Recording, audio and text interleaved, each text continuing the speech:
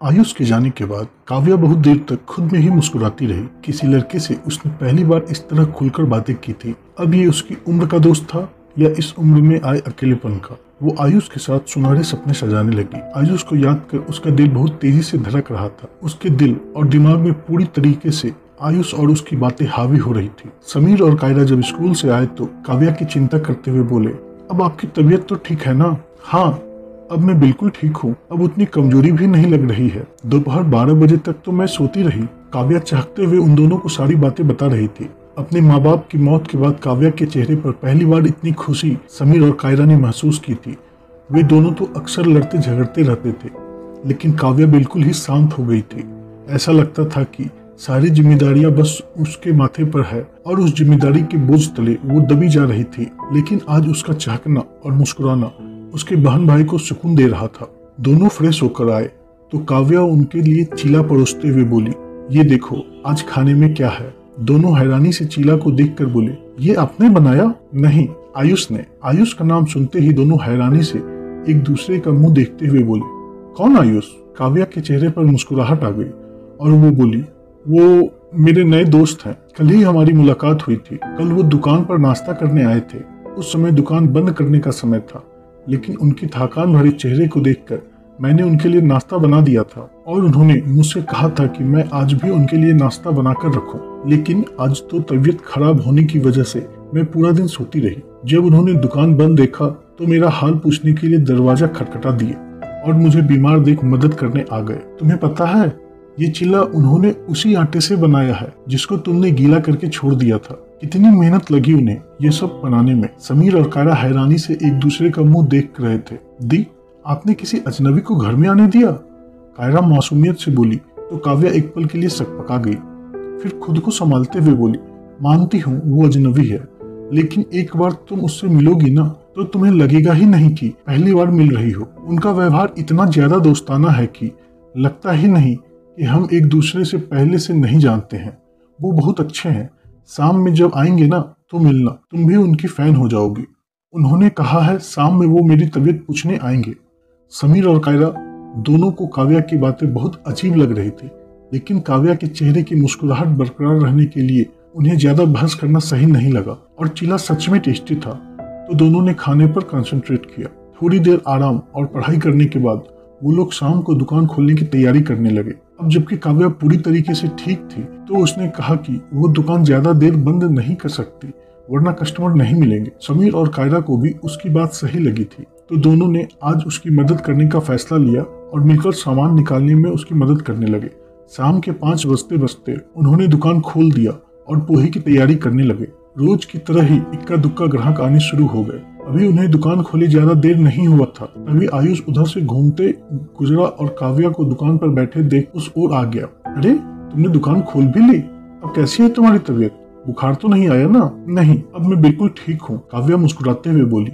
और समीर और कायरा से उसकी पहचान कराते हुए बोली, देखो समीर, यही है आयुष, जिसके बारे में मैं तुम्हें दिन में बता रही थी। फिर आयुष की ओर मुखातिब होकर बोली, आयुष, ये समीर है और ये कायरा। मेरे छोटे भाई बहन आयुष ने मुस्कुराकर उन दोनों को हेलो बोला। तो बदले में वो दोनों भी मुस्कुरा दिए और बोले, दी आपकी खूब तारीफ़ कर रही थी और आपने सच में बहुत अच्छा चिल्ला बनाया था। आयुष मुस्कुरा दिया। फिर दुकान में रखे सामानों को गौर से देखते हुए बोला, तुम सुबह में भी कांदे, पोहे और चाय बनाती है और शाम के समय में भी बस पोहे और चाय, क्यों? काव्या मासूमियत से बोली, अब रोटी सब्ज़ी तो नहीं बेच सकती ना, और मुझे पोहे के अलावा और कोई स्नैक्स नहीं बनाना आता। जब माँ थी तो वो हम लोगों को काम नहीं करने देती थी और उनके जाने के बाद घर के साथ साथ बाहर के लोग के लिए भी खाना बनाने की नौबत आ गई। आयुष उसके कंधे पर हाथ रखकर बोला, तुम पोहे बहुत अच्छा बनाती हो, तुम्हें मायूस होने की ज़रूरत नहीं है। मैं तो बस ये कह रहा था कि शाम के समय लोग अलग अलग तरह की चीज़ें खाना पसंद करते हैं। तुम अगर अपनी दुकान में थोड़ी सी और वैरायटी रखोगी तो ज़्यादा कस्टमर आएँगे। लेकिन मैं और कुछ बनाना जानती ही नहीं तो क्या बनाऊँ? आयुष सोचते हुए बोला, तुम पाव भाजी या बड़ा पाव बना सकती हो। उसमें ज़्यादा मेहनत नहीं लगती। एक बार भाजी बनाकर रख लोगी और जो भी खाने के लिए आएँगे, बस उस समय भाजी को गर्म करके पाव में बटर लगा के दे दोगी। उसी तरह बड़ा पाव के लिए भी थोड़े से बड़ा तलकर रख लो और जैसे जैसे लोग आते जाएँगे उन्हें पाँव में भर कर देती जाओगी। शाम के समय लोग इस तरह का नाश्ता ज़्यादा पसंद करते हैं। तो तुम्हारी दुकान की सेलिंग बढ़ जाएगी। बात तो आपकी सही है। मैंने इस तरह से सोचा ही नहीं था। काव्या को सोचते हुए बोली तो आयुष मुस्कुराकर उसके सर पर हल्का सा मारते हुए बोला, सोचने के लिए दिमाग की ज़रूरत होती है और लड़कियों में वो नहीं होते। काव्या और कायरा दोनों उसे घूरने लगी। तो वो समीर की तरफ़ देख कर आई ब्लिंक कर दिया। हम लड़कों को तो मजबूरी में लड़कियों की तारीफ़ करनी पड़ती है। जरा सा सच बोल दो तो ये अपनी बड़ी बड़ी आँखों से हमें डराने लग जाती है। थोड़ी देर मज़ाक मस्ती करते रहने के बाद आयुष समीर से बोला, समीर, चलो मेरे साथ। मैं तुम्हें फ्रेश पाव खरीदवा देता हूँ। थोड़ा सा स्टॉक रखो यहाँ पर। अगर बिकने लगे तो फिर ज़्यादा खरीद कर ले आना। समीर उसकी बात से सहमत था तो उसने काव्या की ओर देखा। काव्या भी हामी से ढेला उसे पैसे देती।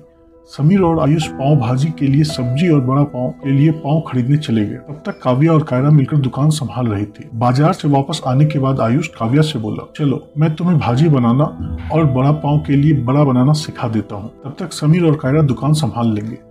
वैसे भी ज़्यादा लोग नहीं हैं अभी यहाँ। काव्या के साथ मिलकर आयुष उसके किचन में चला गया और पाव भाजी के लिए गर्मा गर्म भाजी बनाने में उसकी मदद करने लगा। आज एक ही दिन में दूसरी बार मैं आपके किचन में हूँ। इस बार तो मैं आपको अजनबी नहीं लग रहा ना? आयुष शरारत से बोला तो काव्या मुस्कुरा दी और उसकी ओर हाथ बढ़ाकर बोली, फ्रेंड्स, आयुष भी अपना हाथ उसके हाथ में रख दिया। और बोला, फ्रेंड्स फॉर एवर आयुष का हाथ अपने हाथ में महसूस कर काव्या के पूरे शरीर में सिहरन दौड़ गई, लेकिन आयुष उसी तरह बेबाकी से उससे बात करते हुए बड़ा बनाने के लिए बेसन का घोल तैयार कर रहा था। थोड़ी ही देर में दोनों सारा सामान बनाकर बाहर ले आए और एक टेबल पर सामने की ओर सजा दिए। पाओ को उसने बाहर की ओर कुछ इस तरह सजा कर रखा था, जिससे कि लोगों की नज़र उन पर पड़े। उनका सोचना बिल्कुल सही साबित हुआ। कुछ छोटी उम्र के बच्चे, जो उस वक्त बिना काम के भी बाज़ार में घूम रहे थे, पाव भाजी की महक उनके नाक में आते ही वो उसकी दुकान पर हाजिर हो गए और उससे पाव भाजी खरीद लिए।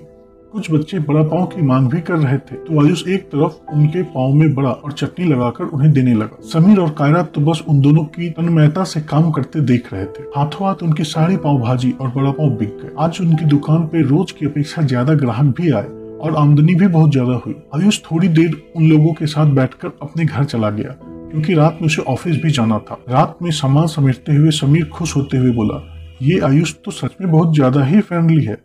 मुश्किल से दो तीन घंटे हमारे साथ बिताए होंगे। उसने और लगा ही नहीं कि हम उसके लिए अनजान है, या वो हमारे लिए अनजान है। इतनी मदद की उसने आज हमारी, और ज़्यादा बिक्री के लिए टिप्स भी दे गया। यही तो मैं भी कह रही थी, और इसलिए मैं दिन में उसे घर के अंदर आने से मना नहीं कर पाई थी। काव्या भी आयुष की बातों में खोए हुए बोली, अगले दिन समीर सुबह ही स्कूल जाने के पहले बाज़ार जाकर सब्ज़ी और पाव लाकर रख दिया। सुबह में तो जल्दी जल्दी काव्या बस पोहे ही बनाई लेकिन दिन में वो भाजी और बड़ा पाव की सारी तैयारियाँ करके रखी। इससे शाम की रेरी में चाय के साथ गर्मा गर्म पाव भाजी और बड़ा पाव रखने में कोई परेशानी ना हो। अब ये उसका रोज का काम हो गया था और इससे उनके दुकान की बिक्री में बहुत ज़्यादा फ़ायदा होने लगा था। आयुष अक्सर ऑफ़िस से लौटने के बाद काफ़ी देर तक काव्या की दुकान पर बैठा उससे बातें करता रहता और शाम में भी सबसे मिलने और उसका हालचाल लेने चला आता। पंद्रह दिन यूँ ही गुजर गए और उन्हें इंश्योरेंस के पैसे भी मिल गए। लेकिन उनका ये काम अब इतना अच्छा चलने लगा था कि उन सबने इसी बिज़नेस को कंटिन्यू करने का निश्चय किया। समीर और कायरा की स्कूल फ़ीस जमा करने के बाद